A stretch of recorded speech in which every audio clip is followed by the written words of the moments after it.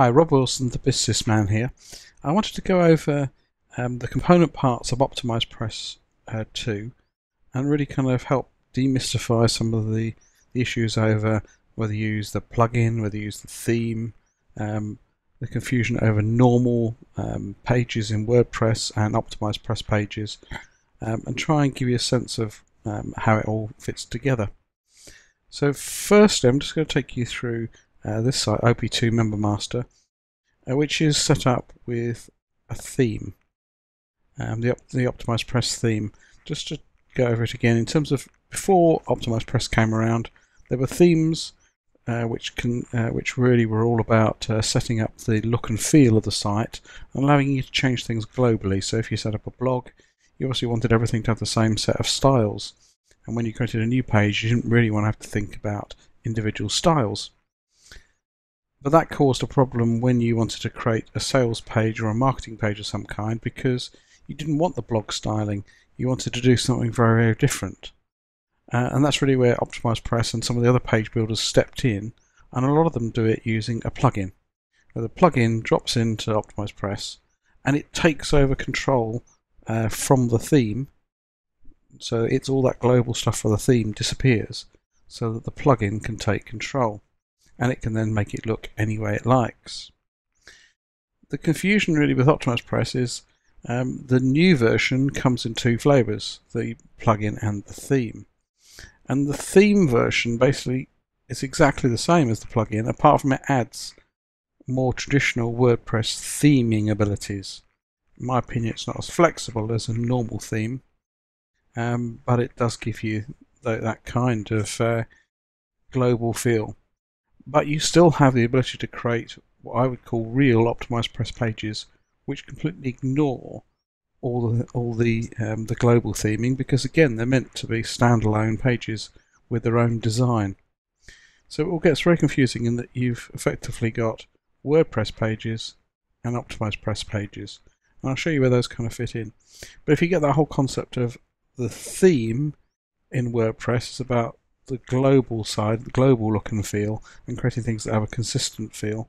Uh, whereas OptimizePress pages themselves, proper optimized press pages that use the live editor, um, are meant to be unique. So let's have a look at, look at this. So I set up my OptimizePress um, membership site uh, using proper optimized press pages. They use the live editor. Um, this has a downside in that um, basically if you want to change something, because they're unique, if you want to change something globally, you have to go through every single page and make that change. The reason I I do it is because I like the look and feel of the pages created as proper OptimizePress pages using the live editor over the pages that are created um, if you create a normal page within the theme and use some of the elements of OptimizePress 2. That's probably thoroughly confused you, but if you look at these pages, these are real OptimizePress pages. If I go and uh, go into the live editor you'll see it looks just like um, it gives you all the features, all the elements and uh, power of OptimizePress, uh, the OptimizePress page builder. So that's what I would call a real OptimizePress page. You can add elements, you can take away elements, you've got control of the layout, you can put things in columns, you can add in rows, etc. etc. Now, where it becomes confusing is because you can also, within the theme, remember I'm running the theme on this one, create a WordPress page and then use some of the OptimizePress elements. So let's create this one. We'll call it WordPress page. And we can put some text in. Um, so we can type away. And you can also add in optimize press elements. So it's very similar to using the live editor, apart from you can you can just insert individual elements. You can't start playing around with uh, rows and columns and different dividers. And the things show up as uh, shortcodes. They don't show up as um, graphical elements like it did in the the more WYSIWYG, WYSIWYG editor style of the live editor. So if you're doing this kind of thing and that's all you're seeing, um, and you're not seeing the live editor itself, and the ability to add rows and columns, um, then you're really editing normal pages.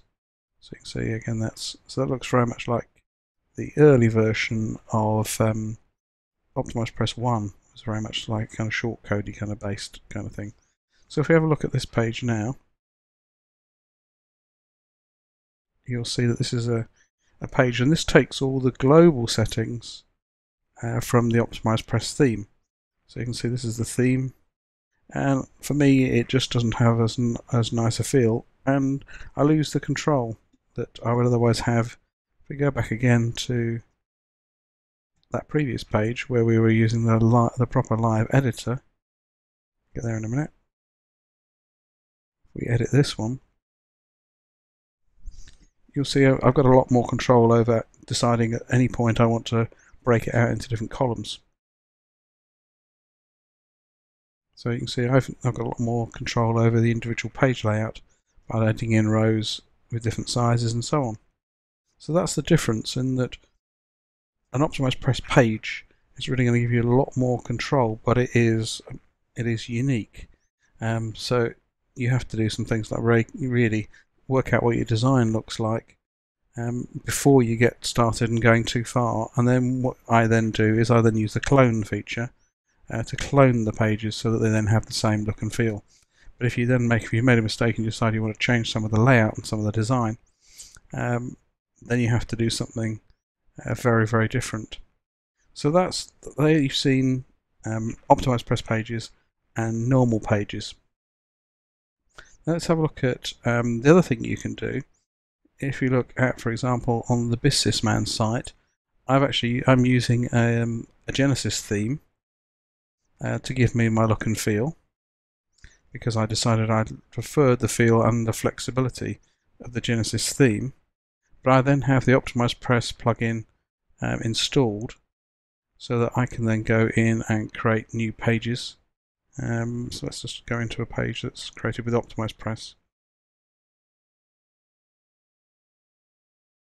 So I can go in, um, so I can do all the blogging uh, things that I want to do using the nice theme from Genesis. But then when I want to create optimized press pages, again, I've got the ability to you know, create optimized press pages where I've got that proper live editor again. So hopefully that's that's helped out quite a bit. That you you can see that the theme effectively gives you the ability to create WordPress pages with a global feel, where you can change the the settings. Uh, if we go to the dashboard here, I'll show you the global settings that you can change.